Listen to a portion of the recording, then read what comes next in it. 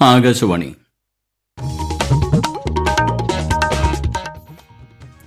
നമസ്കാരം. പ്രാദേശിക വാർത്തകൾ വായിക്കുന്നത് ഗോപകുമാർ.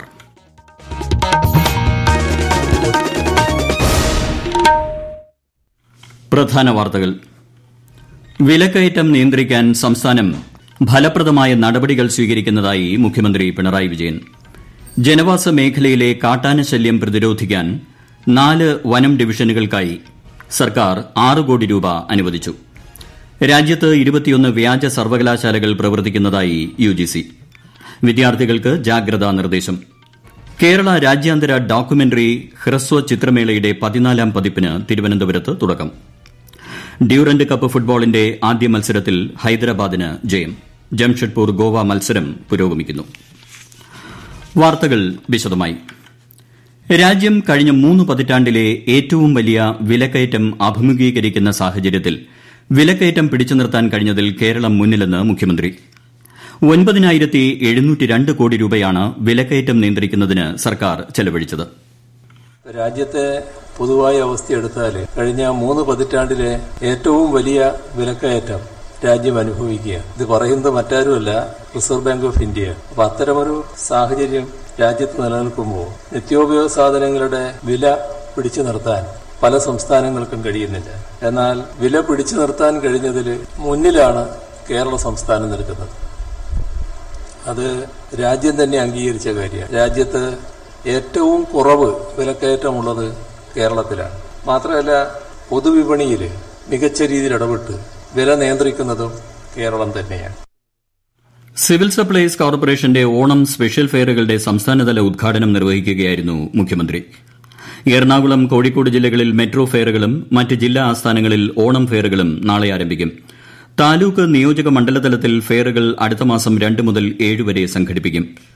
സപ്ലൈകോയുടെ ആഭിമുഖ്യത്തിൽ സമൃദ്ധി എന്ന പേരിൽ പതിനേഴ് ഇനങ്ങളടങ്ങിയ ആയിരം രൂപ വില വരുന്ന സ്പെഷ്യൽ ഓണക്കിറ്റ് തൊള്ളായിരം രൂപയ്ക്ക് ലഭിക്കും. ഇതിന്റെ ഉദ്ഘാടനവും മുഖ്യമന്ത്രി നിർവഹിച്ചു. കുടുംബശ്രീയുടെ നേതൃത്വത്തിൽ സെപ്റ്റംബർ ഒന്ന് മുതൽ സംസ്ഥാനമൊട്ടാകെ സംഘടിപ്പിക്കുന്ന ഓണച്ചന്തകളുടെ മുന്നൊരുക്കങ്ങൾ ആരംഭിച്ചു. തദ്ദേശ സ്ഥാപനങ്ങളുമായി സഹകരിച്ചുകൊണ്ടാണിത്. ആയിരത്തി എഴുപത് സി ഡി എസ് തല ഓണം വിപണന മേളകളും പതിനാല് ജില്ലാതല മേളകളും ഉൾപ്പെടെ സംസ്ഥാനത്ത് വിപണന മേളകൾ സംഘടിപ്പിക്കുന്നതിനാണ് ലക്ഷ്യമിടുന്നത്. ജനവാസ മേഖലകളിൽ ഇറങ്ങുന്ന കാട്ടാനകളെ പ്രതിരോധിക്കുന്നതിന് നാല് വനം ഡിവിഷനുകളിലായി ആറ് കോടി രൂപ അനുവദിക്കുമെന്ന് മന്ത്രി എ കെ ശശീന്ദ്രൻ. പാലക്കാട്ട് വനം വകുപ്പ് ഫയൽ അദാലത്തിൽ സംസാരിക്കുകയായിരുന്നു മന്ത്രി. പാലക്കാട് മണ്ണാർക്കാട് നെന്മാറ നിലമ്പൂർ ഡിവിഷനുകൾക്കാണ് തുക അനുവദിക്കുക. കൂടാതെ നബാർഡ് സഹായത്തോടെ സോളാർ ഫെൻസിംഗ് സ്ഥാപിക്കുമെന്നും അദ്ദേഹം പറഞ്ഞു.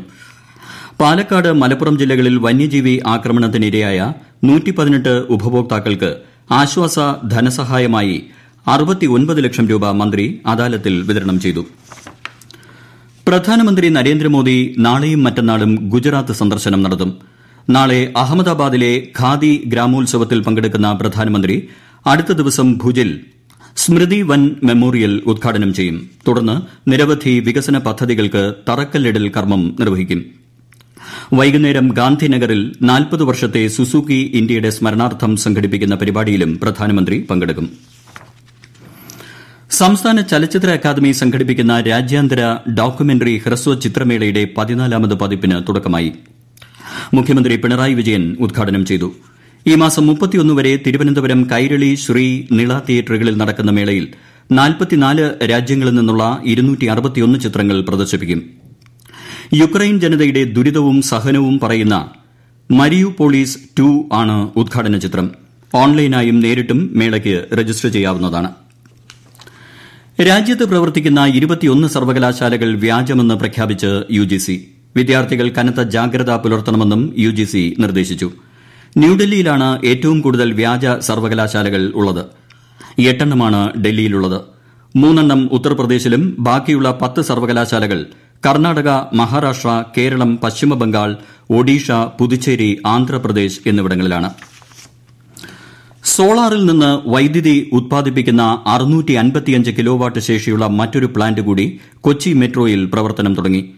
മുട്ടം യാർഡിൽ സ്ഥാപിച്ചിരിക്കുന്ന plant K M R L managing director Loknath Behera ഉദ്ഘാടനം ചെയ്തു. ഇതോടെ മൊത്തം വൈദ്യുതി ആവശ്യത്തിന്റെ അൻപത്തിയെട്ട് ശതമാനവും സോളാറിൽ നിന്ന് ഉത്പാദിപ്പിക്കുന്ന കമ്പനിയായി K M R L.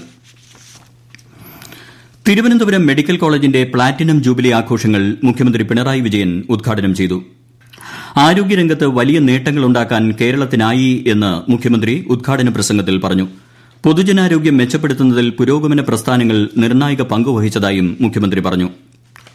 അറുപത് ശതമാനം ആളുകളും ഇപ്പോൾ ആശ്രയിക്കുന്നത് സർക്കാർ ആശുപത്രികളെയാണ്. ആരോഗ്യ സൌകര്യങ്ങൾ ലോകോത്തരമാക്കാനാണ് സർക്കാർ ശ്രമിക്കുന്നത് എന്നും മുഖ്യമന്ത്രി അറിയിച്ചു. മെഡിക്കൽ കോളേജിന് കോടി രൂപയുടെ മാസ്റ്റർ പ്ലാൻ നടപ്പിലാക്കുമെന്നും മികച്ച ഔഷധ കേന്ദ്രമായി കേരളത്തെ മാറ്റുമെന്നും അദ്ദേഹം പറഞ്ഞു. ഈ വാർത്തകൾ ആകാശവാണിയിൽ നിന്ന്. സംസ്ഥാനത്തെ അൺഎയ്ഡഡ് സ്കൂളുകളിൽ ഒരു അധ്യയന വർഷം കുറഞ്ഞത് മൂന്ന് തവണയെങ്കിലും അധ്യാപക രക്ഷാകർതൃ സമിതികൾ ചേരണമെന്ന് ബാലാവകാശ കമ്മീഷൻ.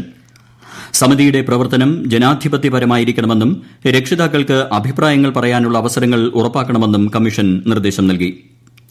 മേവറം ശ്രീനാരായണ പബ്ലിക് സ്കൂളിലെ ഒന്നാം ക്ലാസ് പ്രവേശന ദിവസമുണ്ടായ അനിഷ്ട സംഭവങ്ങൾ ഉന്നയിച്ച് കമ്മീഷന് നൽകിയ പരാതി പരിഗണിച്ചാണ് ഉത്തരവ്.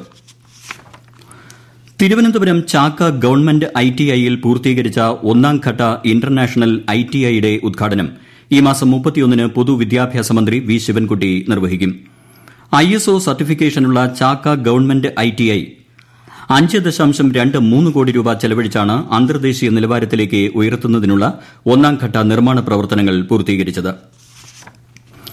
സംസ്ഥാനത്ത് ശക്തമായ മഴയ്ക്ക് സാധ്യത കണക്കിലെടുത്ത് എട്ട് ജില്ലകളിൽ ഇന്നും നാല് ജില്ലകളിൽ നാളെയും കേന്ദ്ര കാലാവസ്ഥാ വകുപ്പ് മഞ്ഞ ജാഗ്രത പ്രഖ്യാപിച്ചിട്ടുണ്ട്. കോട്ടയം എറണാകുളം പാലക്കാട് മലപ്പുറം ജില്ലകളിലാണ് നാളെ മഞ്ഞ ജാഗ്രത. കേരള കർണാടക ലക്ഷദ്വീപ് തീരങ്ങളിൽ ഇന്ന് മണിക്കൂറിൽ നാൽപ്പത് മുതൽ അൻപത് വരെ കിലോമീറ്റർ കാറ്റിന് സാധ്യതയുണ്ടെന്നും മീൻപിടുത്തക്കാർ കടലിൽ പോകരുതെന്നും കാലാവസ്ഥാ വകുപ്പ് മുന്നറിയിപ്പ് നൽകി. പൂക്കളില്ലാതെ ഓണമില്ലല്ലോ. ഓണം ലക്ഷ്യമിട്ട് ആലപ്പുഴയിൽ പൂക്കൃഷി നടത്തിയ ഇടങ്ങളിലെല്ലാം പൂക്കാലമായി. വിശദാംശങ്ങളുമായി ആകാശവാണി ആലപ്പുഴ ജില്ലാ പ്രതിനിധി ആർ രവികുമാർ. ഓണവിപണി ലക്ഷ്യമിട്ട് പൂകൃഷി നടത്തിയ ആലപ്പുഴ ജില്ലയിലെ കർഷകർ വലിയ സന്തോഷത്തിലാണ്. കാലാവസ്ഥ അനുകൂലമായതിനാൽ മികച്ച വിളവാണ് എല്ലായിടത്തും ലഭിച്ചത്.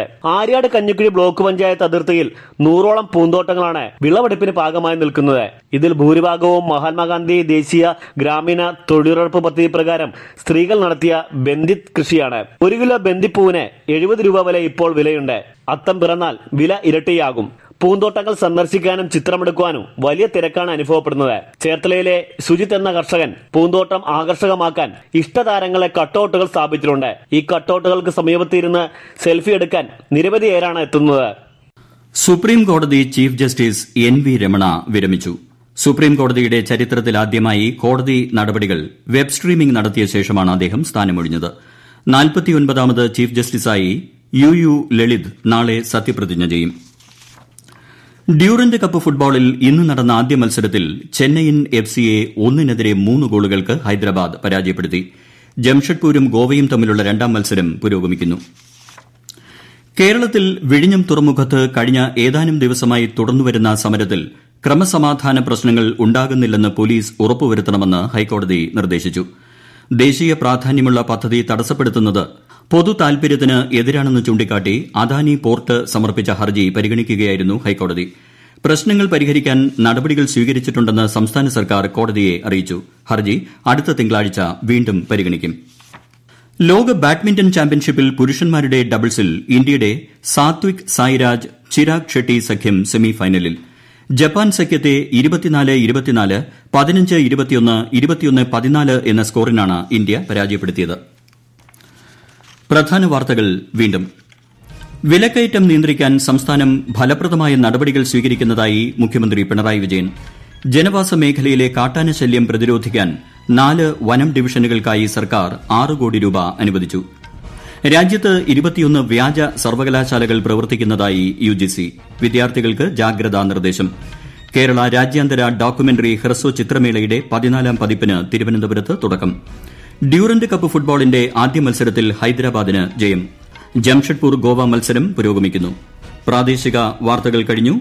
അടുത്ത വാർത്താ പ്രക്ഷേപണം രാത്രി ഏഴ് ഇരുപത്തിയഞ്ചിന്.